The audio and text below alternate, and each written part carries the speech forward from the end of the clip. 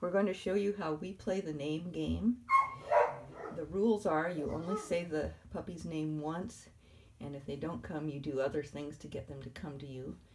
Um, when they come to you, you give them one little treat and a lot of verbal praise, and then the other person calls the puppy. Uh, we're using hot dog pieces. I cut a hot dog lengthwise into quarters and then slice the pieces into little tiny chunks about the size of a pea.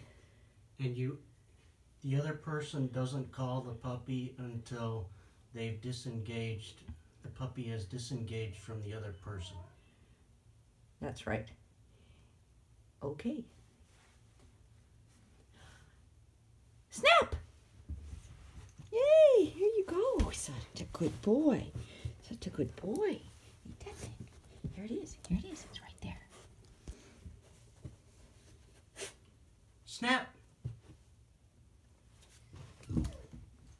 Yeah, yeah, good boy. So good. Yeah, there you go. Good boy, good boy. Snap! Here we go. So good. So good. Oh, so silly. So silly. Snap! Yeah!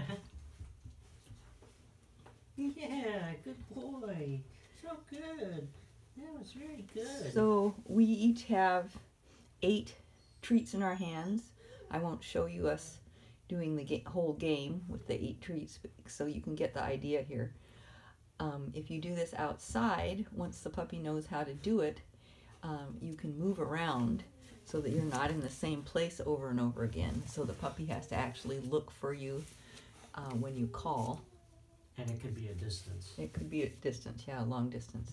You can play this with three people once the puppy knows um, his name a little bit, and that way everybody in the family can Right. join in and learn how to call the puppy.